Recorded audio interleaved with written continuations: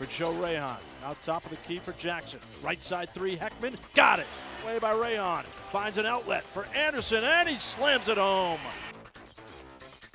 Here's Heckmann faking the NBA three. Comes to the right for Rahon. Puts it on the floor, right baseline, up and under. Good with the left hand. Right for Jackson. Now to Hanlan. 17 on the shot clock. Foul line. Step back jumper is good. Got the fortuitous roll. Olivier Hanlan. BC regains possession. Heckmann driving down the lane. Rahon. Right elbow. Open three. Hanlan. Got it. Olivier Hanlan's got a triple. Bounce to Clifford, left elbow. Now to the left for Rahon. Three is good. Ball that he just disappeared in between the BC defenders. How about this 25 foot three by Lonnie Jackson? Small point guards, including Chris Paul. Here's a three by Heckmann. It's good. Patrick Heckmann drains the three. Beyond the arc. Now he dribble drives. Left hand layup. Good.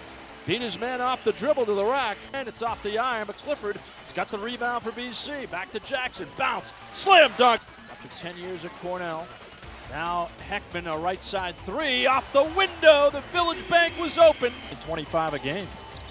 Yeah, that's a lot of threes during the course of the game, but that's what they've been doing. Right on cue, Hanlan hits a three. And it looks to the right for Rahon.